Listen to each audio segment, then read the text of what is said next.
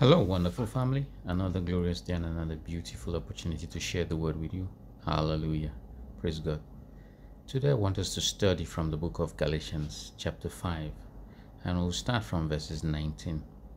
This is contrasting two types of lifestyles, and I dare say that um, as a Christian filled with the Holy Spirit, you are expected to grow in grace you're expected to grow that certain characteristics certain character attributes that you had should die and certain and certain character attributes of Christ develop in you.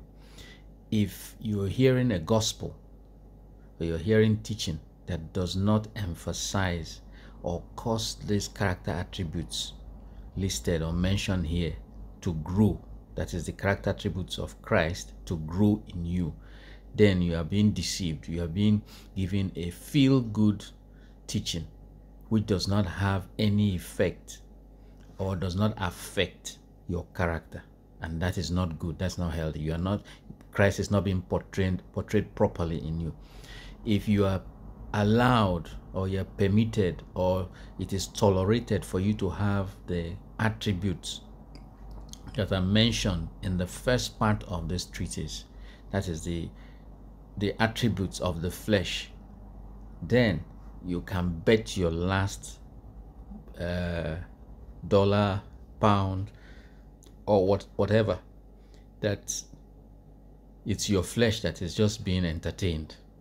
Your spirit man is not being edified, and your salvation is very much in question. And whoever it is that is your leader, your spiritual leader, is not doing you any good or favors. Think again. Join me from verses 19. Now the works of the flesh are manifest, which are these adultery. So he's saying that these are the works associated with carnality, the flesh. Can, carnality is basically carnis, meat, flesh. It's not a life driven by the spirit man. It's a life driven by the base nature, the flesh. It says adultery, fornication, uncleanness, lasciviousness. That is careless, carefree life. Verse 20 idolatry, witchcraft. It even includes witchcraft as part of the works of the flesh. It can that is so a, a Christian who is flesh ruled can practice this. And that tells you where that person is heading. Hatred. You see, he adds hatred here. Classes hatred and witchcraft in the same cadre. So if you hate, don't think you are any different from a witch. Variance, emulations, rot, strife, seditions, heresies, envyings, murders. You see, he's in the same cadre. They're all works of the flesh. Drunkenness, revelings. When you say revelings, it talks about carousing in wild parties and such, of the which I tell you before, as I have also told you in time past, that they which do such things shall not, emphasis mine, shall not inherit the kingdom of God. So if you hate, if you are an adulterer, if you are a fornicator, if you are lascivious, if you are idolatrous, if you are a witch or practice witchcraft, if you pra- if you practice wrath, if you practice strife, seditions, heresies, envyings, murders, murders, drunkenness, you see all of these things. He says that these Uh, that you have been warned. You've been told before. He's talking to to the Galatians, but by extension to us that we've been told before. So if you've not heard it before, you're hearing it now. That they which do such things shall not inherit the kingdom of God. No arguments there. Then he's now telling us what is expected to develop, to blossom out from the spirit man if you let your spirit rule you. The spirit of Christ that is indwelt in you, if you let him rule you. Instead of the, the former, you start, these are the, but the fruit of the Spirit is, listen now, love. It comes from the inside, love.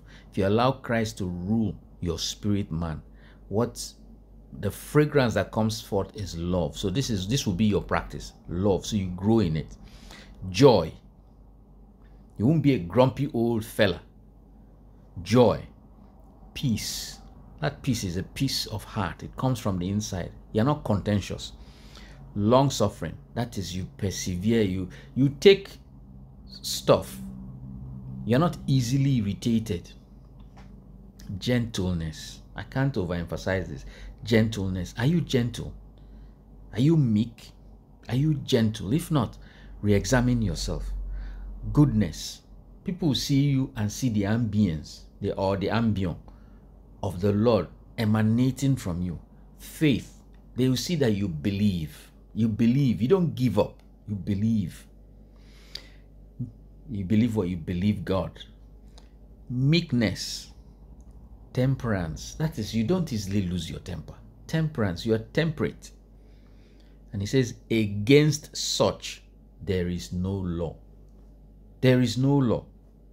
And they that are Christ have crucified the flesh or the carnal things, crucified, crucified, crucified, killed, put to the cross the flesh with the affections and lusts if we live in the Spirit, let us also walk in the Spirit.